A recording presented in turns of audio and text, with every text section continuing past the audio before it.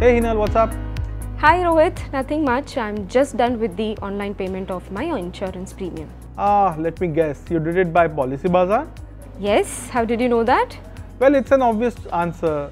See, Policy Bazaar today has more than 90% market share in the digital space. So, uh, you know, 9 out of 10 people today are doing their insurance purchases and payments online through Policy Bazaar.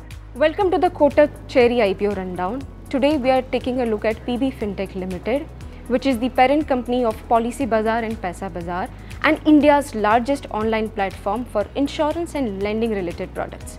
So here we go. Let's look at some of the details. Let's understand in detail from Rohit.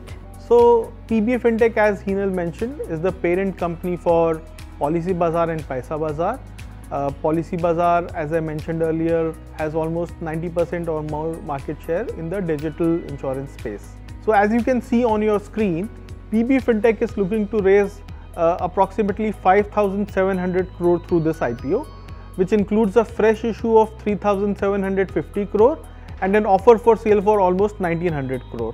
Offer for sale, uh, just to bring to your, uh, to your notice, uh, is where existing shareholders of the company offer their shares in the market. This money does not come to the company. Uh, the IPO opens for subscription on 1st November and closes on 3rd November. Uh, the price band is 940 rupees on the lower side and 980 rupees on the upper side of the price band. The lot size is 15 shares uh, and uh, in multiples of 15 thereafter, which means at the upper end of the price band, you have to invest minimum 14,700 rupees in the company. Thank you so much Rohit sharing for information. Can you share a few more details about it? Sure. So now that you know how much minimum is required to invest in one lot in the IPO, let me share some few more numbers with you which will help you decide uh, in your investment uh, process.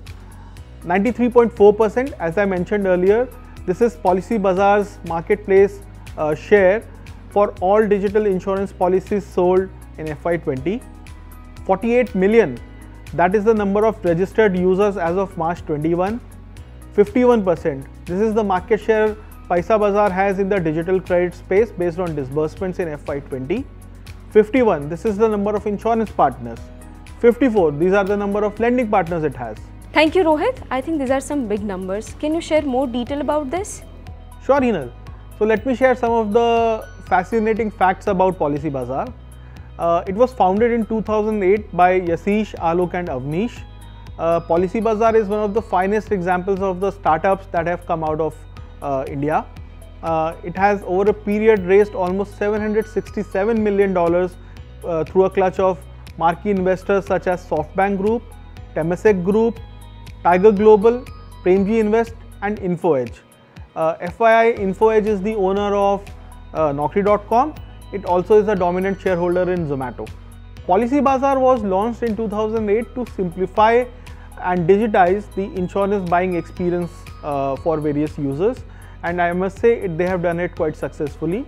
Uh, in 2014, the company also launched Paisa Bazaar, uh, which offers various credit products. For example, if you want to take a loan, if you want to buy a credit card, you can go to Paisa Bazaar and all these services will be available there. That's cool Rohit.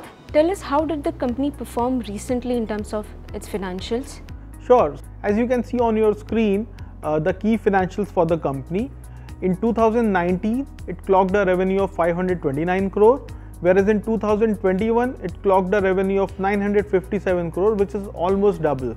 Uh, in terms of uh, bottom line, in 2019, the company had a negative PAT of 347 crore, and in 2021, it had a negative PAT of 150 crore.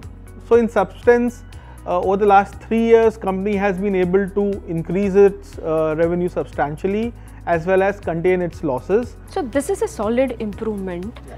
So what does the company intend to do with its IPO funds now? As I mentioned earlier, there are two components to the IPO. One is OFS, which is offer for sale, where some of the existing shareholders of the company will sell their shares. That money will go to the shareholders. That money does not come into the company.